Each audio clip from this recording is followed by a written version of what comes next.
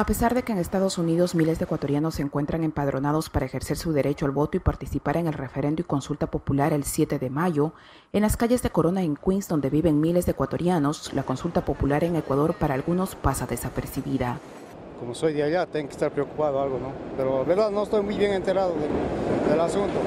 Gilberto Crespo, representante de los medios ecuatorianos locales en Nueva York, indica que se ha dado muy poca información, en especial sobre el contenido de las preguntas. Indudablemente ha faltado divulgación de eh, número de preguntas y el sustento de las mismas. Y es que la página de publicidad de los periódicos que circulan principalmente en Queens como Ecuador News y Latino Street no han sido suficientes. La comunidad ecuatoriana tenía y tiene aún una semana de plazo para tener eh, por lo menos la lectura de las preguntas de la consulta, porque hay que diferenciar que una elección de tipo presidencial es diferente a la de ahora.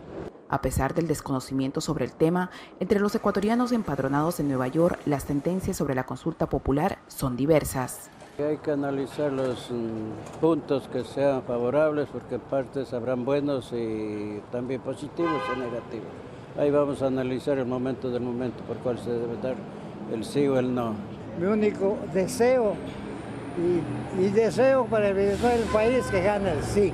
Las opiniones a favor y en contra de la consulta en Estados Unidos se verán reflejadas el 7 de mayo, cuando los ecuatorianos acudan a las urnas a participar en este momento histórico e importante para su país. Desde Nueva York, Karina Cartagena, Ecuador TV, su televisión pública.